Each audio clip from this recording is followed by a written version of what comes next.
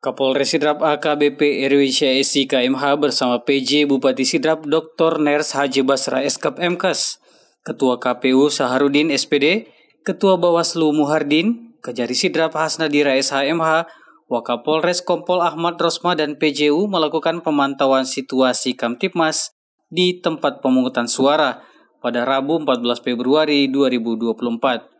Pengecekan pertama dilakukan di TPS 004 yang berada di Kecamatan Kulo, di mana TPS ini PC Bupati Sidrap melakukan pencoblosan untuk memberikan hak pilihnya dalam pemilihan umum 2024.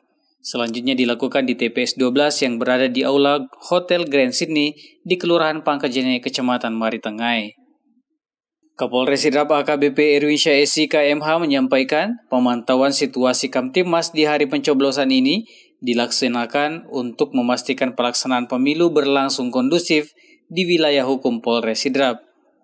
Pada kesempatan ini juga ia mengajak kepada seluruh masyarakat agar terus menjaga situasi keamanan dan ketertiban masyarakat dalam tahapan pencoblosan hingga perhitungan suara dan dapat berlangsung dalam kondisi aman.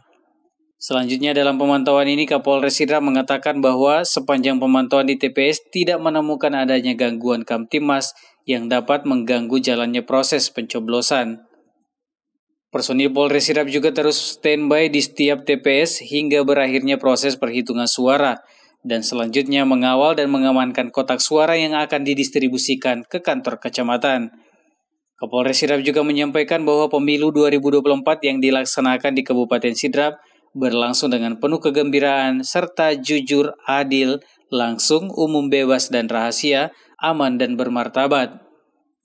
Kapolres Sidrap juga menyampaikan bahwa pemilu 2024 yang dilaksanakan di Kabupaten Sidrap berlangsung dengan penuh kegembiraan serta jujur, adil, langsung, umum, bebas rahasia, aman, dan bermartabat. Hari ini memang kita mengagendakan bersama dengan Forkopimda hadir di sini bersama-sama dengan PJ Bupati, kemudian Ibu Bajari, hadir juga penyelenggara pemilu ada ketua KPU, ketua Bawaslu, untuk bersama-sama mengecek uh, situasi keamanan terkait dengan pelaksanaan kegiatan pesta demokrasi untuk pemungutan dan penghitungan suara yang dilaksanakan hari ini sebagai puncak uh, tahapan pelaksanaan kegiatan pemilu inti yang kita laksanakan secara serentak tanggal 14 Februari tahun 2024. Kita bisa melihat secara bersama-sama di Desa Kuno ini, tepatnya di TPS 004, semua personil tergelar lengkap, baik dari personil kepolisian, kemudian dari TNI, kemudian dari Limas, termasuk juga dari perangkat, Bawaslu maupun KPU,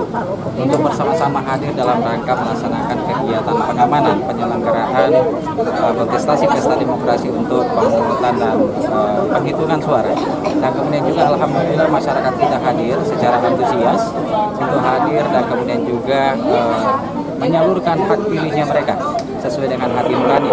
Kenapa? Karena jauh-jauh hari kami sudah menghimbau agar masyarakat untuk ikut berperan serta aktif tidak ada yang golput. Kenapa? Karena satu suara sangat-sangat uh, menentukan untuk masa depan masyarakat bangsa dan negara. Harapan saya ke depan insya Allah pelaksanaan kegiatan ini dapat berjalan dengan luber, jurdil, aman, damai, dan bermartabat di wilayah Kabupaten Sidini Rapat.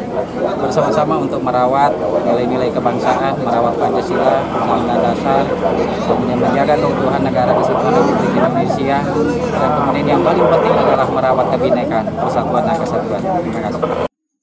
Dari Kabupaten Sidrap, Erwin Parolai mengabarkan.